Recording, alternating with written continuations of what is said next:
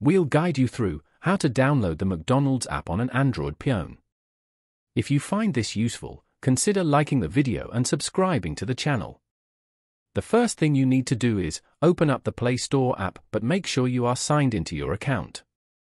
Click on the search icon at the bottom, then click inside the search bar at the top and type in McDonald's.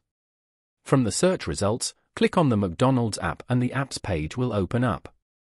If you scroll down, you will see general information about the app, as well as genuine customer reviews and ratings. Now scroll back up and click on the About This app link. When About This app opens, scroll down until you see compatibility for your active devices. This will tell you whether the app will work on your model of mobile. Once you have checked and are happy to proceed, click the back arrow button in the top left corner, then hit the big blue Install button to download the app.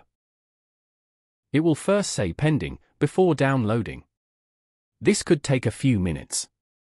Once the app is downloaded, it will then install on your phone.